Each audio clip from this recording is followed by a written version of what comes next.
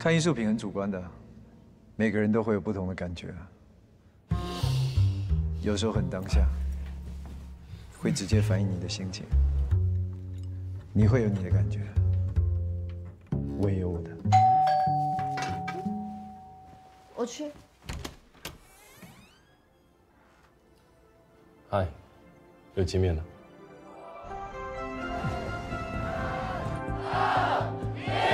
我一直不懂，为什么这么多人喜欢把心事讲给陌生人听，知道你最不为人知的一面。我喜欢你。可能我太想谈恋爱了吧。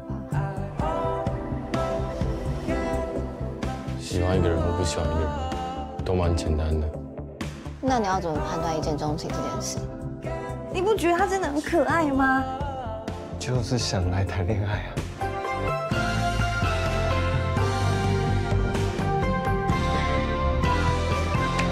这样讲起来很不负责任，但是可以被另外一个人接住的感觉真的很好。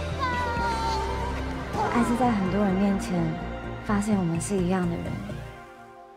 你需要的不是陪伴。Would you marry me？有一次啊，我们看了一部老爱情片，他就跟我说，我们一定可以过着幸福快乐的日子。好像就是从那时候开始，我觉得害怕。事情到最后都变得一团混乱。我不知道为什么我每一天都想要见到你。我们可不可以先相信现在就好了？